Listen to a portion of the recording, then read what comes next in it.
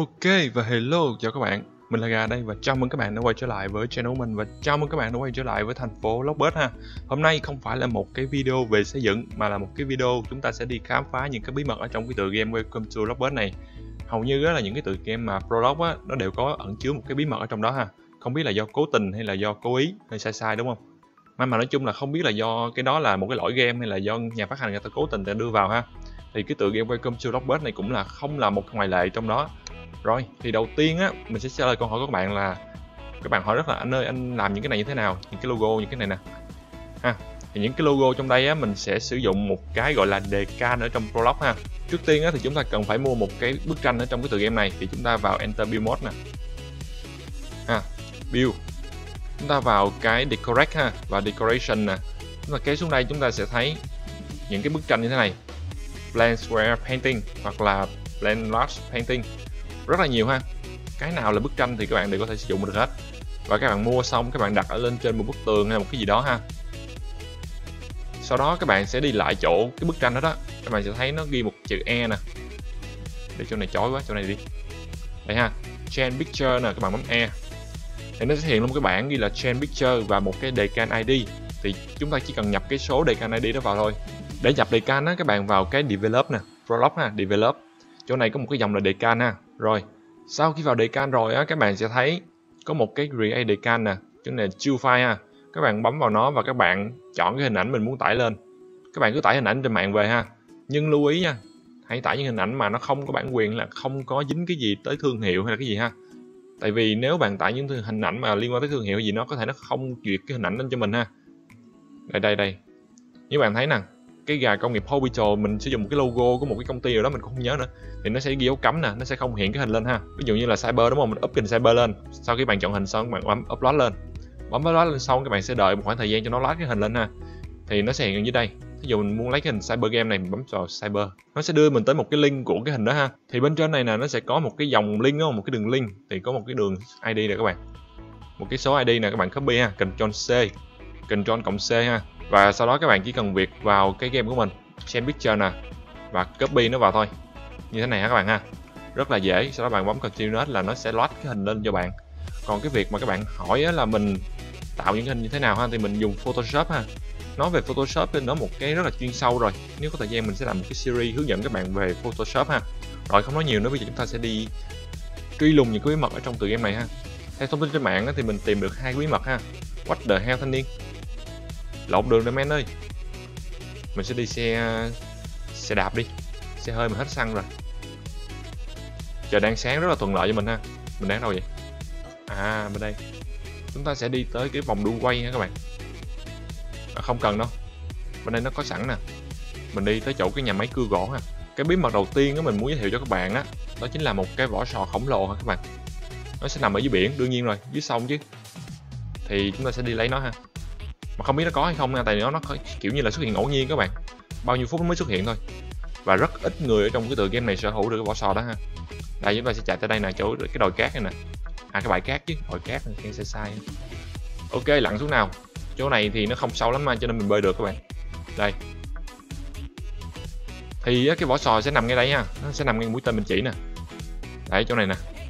Nhưng mà trong một khoảng thời gian nó mới xuất hiện thôi các bạn. Hiện tại thì nó không xuất hiện ha kiểu như nó có sự sống như các bạn. Nó rất là khó xuất hiện luôn. Một hồi nữa sẽ xuất hiện thôi. Mà không biết trong video này mình có thời gian để mình ngồi chờ để mình lấy được nó hay không ha. Hy vọng là sẽ được. À, mà mình cũng thắc mắc là không biết cái tựa game này mình có thể bơi ra ngoài được không ta? Ồ không được các bạn. Mình bơi tới đây nó bị chặn rồi.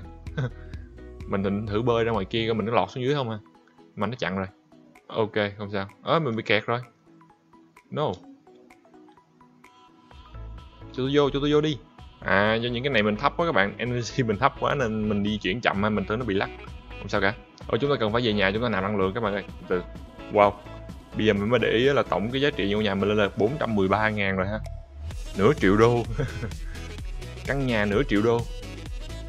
Rồi chúng ta cho cái energy lên cao cao đi giờ chúng ta sẽ đi uh, tìm cái bí mật tiếp theo và biết chúng ta quay trở lại thì cái vỏ sò nó xuất hiện chưa? Ủa, tên niên này xây nhà thì không có máy á trời chưa đủ tiền mua mái nhà rồi. Cố gắng cày nha cố gắng đi làm việc nha. Ồ oh, nó vẫn chưa có các bạn ơi. Ok trong lúc chờ đợi chúng ta sẽ đi tìm cái bí mật thứ hai ha. Thật sự cái bí mật thứ hai này không phải là bí mật đâu tại vì nếu các bạn mà để ý kỹ một chút xíu á ở ngoài cái thumbnail cái bìa của từ game này các bạn sẽ thấy có một cái dù lượng đúng không? Thì chúng ta sẽ đi tìm cái dù lượng đó ha. Cái dù lượng nó ở trên núi các bạn. Đây nè. Tại trên đỉnh núi đó. Chúng ta chỉ cần việc đi lên núi thôi có xe đạp rất là tiện ha.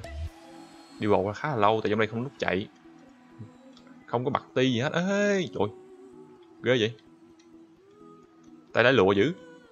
Rồi chúng ta lên trên núi nè. Rồi qua đây ha. Về vòng lên núi. Từ từ.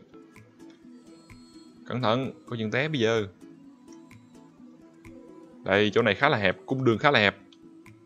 Vượt sông, vượt gió, vượt những cơn mưa rào.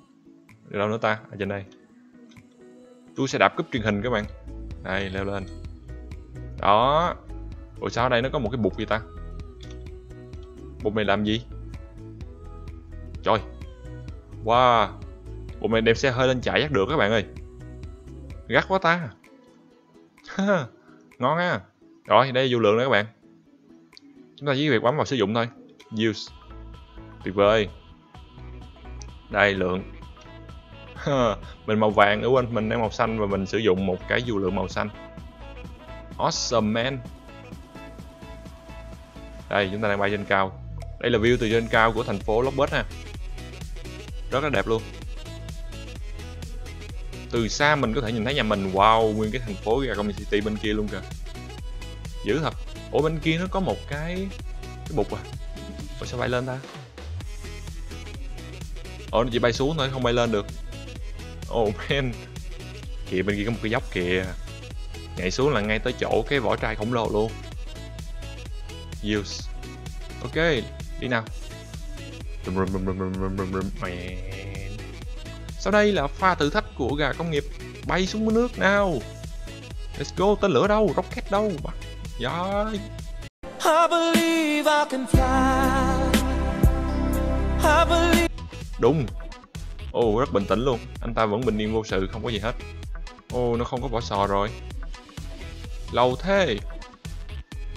Đây đây đây đây đây đây nè các bạn ơi. Đây vỏ sò đây. Lụm lụm nhanh. Thác ok. Mình chờ khoảng một tiếng đồng hồ. À không một tiếng đồng hồ trong game nha các bạn. Tức là khoảng 3 phút thôi. Thì nó có nè. Bạn nhận được một vật phẩm mới là new item in inventory một cái vỏ sò khổng lồ. Yes. Trời không phụ lòng người tốt rồi. À, quay trở về thôi. ok.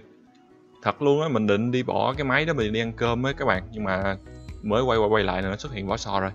Đấy, thì cái vỏ sò nó sẽ xuất hiện ngẫu nhiên á. Chúng ta cứ chỉ cần chờ thôi, tốn thời gian chờ thôi. Và nó nhanh hay chậm tùy thuộc vào độ may mắn thôi. Và mình tin chắc chắn rằng ở trong cái welcome to Robert này, rất ít người có thể sở hữu được cái vỏ sò đó ha. Nhà hiện đại ha. Đây, trên bàn làm việc của mình. Đây, inventory các bạn thấy một chữ new nè một cái cúp uh, premium mà bữa mình nâng cấp 400 robot á chưa đặt luôn. Chính này là small ha. Để bên đây được không ta? Cái cúp để bên đây và vỏ sò để bên đây ha. Ok thì đó là hai cái bí mật mà mình tìm được ở trong cái tựa game Welcome to Robot này. Và nếu bạn nào có những cái bí mật nào khác mà các bạn tìm được á, hãy comment bên dưới cho mình biết ha. Và cảm ơn các bạn theo dõi video này. Nếu thấy video này hay đừng quên để lại một like share video này. Cũng như hãy đăng ký kênh để theo dõi nhiều video hơn mình mỗi ngày ha hẹn gặp lại các bạn trong những video tiếp theo. Xin chào.